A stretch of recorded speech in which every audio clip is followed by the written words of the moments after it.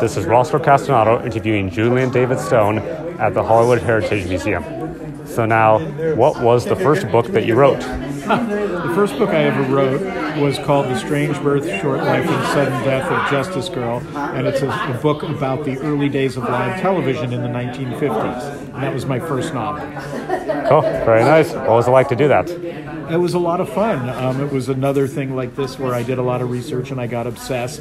And it's kind of in the same way that Carl Laemmle Jr. in my current book, It's Alive, is sort of forgotten. People forget that there was a period of time for about 15 years where all of television was live. Videotape, videotape hadn't been invaded, invented yet. And so it's a real lost era. Cool, very nice. Could you please talk about uh, writing the book It's Alive as well? It's Alive is a fictionalized uh, story about the days leading up to the beginning of production on Frankenstein, based on true facts about the back and forth. Because everybody knows that Boris Karloff starred in Frankenstein. Well, that was not necessarily the, what it was going to be originally. Bela Lugosi was possibly going to originally star in it, and there was a lot of back and forth about how that decision was finally made.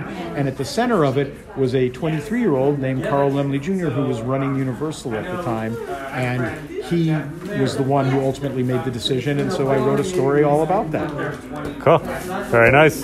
What projects are you currently working on? Um, I'm trying to get a novel done about the space race, the 1960s uh, Apollo program to land uh, to land a man on the moon. That's the Ah, cool. project I'm working on now. Cool, very nice. What's it like to do that?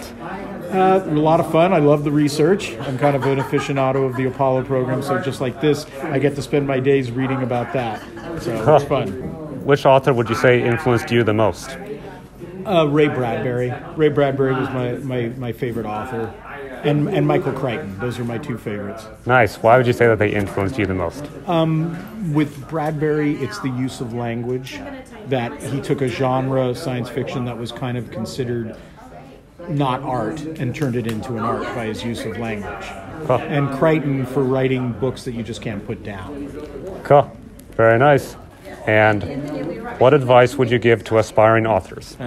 Right. Cool. Very nice. It's a good piece of advice. Well, thank you for allowing me to interview you. Oh, my pleasure. Thank you for coming. It was great to meet you. My pleasure. It was a great event and it was great to meet you too. Yeah, and you have a great name. Thank you. Yeah, it's my great grandfather's last name, and I was named for both my great grandparents. That's fantastic. Well, Okay. there you have it. That was Ross Castellato interviewing Julian David Stone.